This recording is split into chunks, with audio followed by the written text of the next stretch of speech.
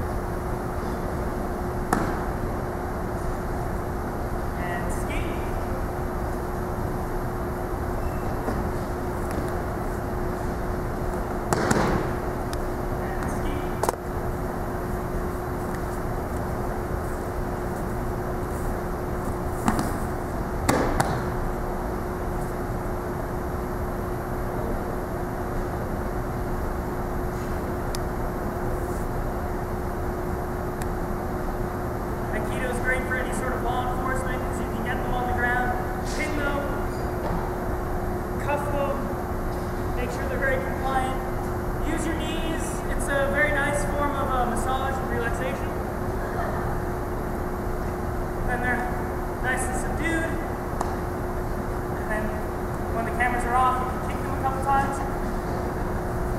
All right, so Sensei, if you get